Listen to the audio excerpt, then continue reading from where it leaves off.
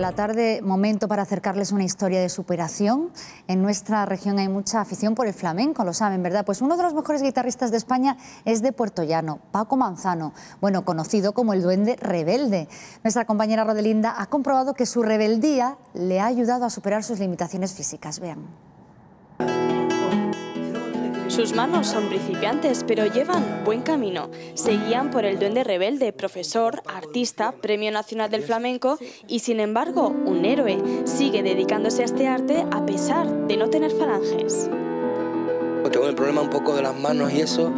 La verdad que al principio es, es muy duro, es muy duro porque, claro, toda la guitarra, toda la vida he enganchado a una guitarra durante, durante muchísimos años y bueno, pues tengo que, seguir por, por otro camino, ¿no?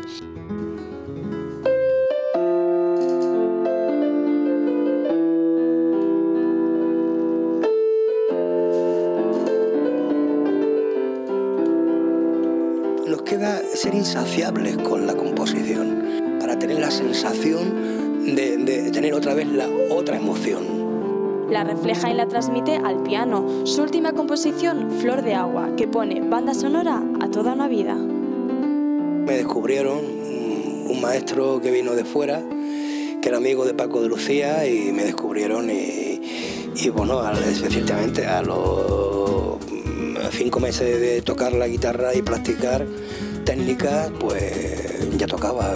Un poco también esa losa de ser un niño prodigio, ¿no? Porque también te quitas mucho la niñez y te quitas muchas horas de tu vida.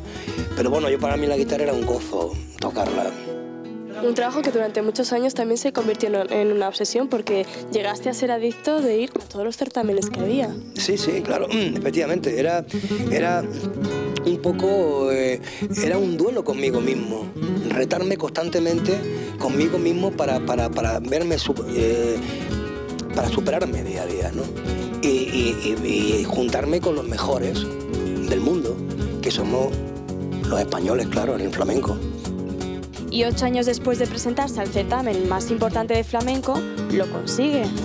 Lo del nacional era, era como si tuviera electricidad en el cuerpo. Parecía que estaba echando rayos de electricidad, ¿no? De hecho, fíjate el premio, si pesa kilos, lo levanté como una mano, como si nada. Yo creo, ya, la gente encima rompiéndome la, la camisa rota, como decía el camarón, eh, eh, eh, la, gente mirándome a los ojos, ole, tal. Ya era hora que, como dijo uno ayer en la Unión, ya era hora que escuchara yo aquí flamenco, ¿no? De su pasado glorioso conserva recortes, buenos recuerdos y un largo recorrido en fotos por todo el mundo y al lado de los mejores.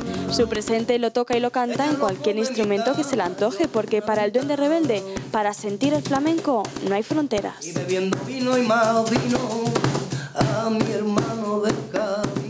Sentimientos y superación con mayúsculas, ¿verdad?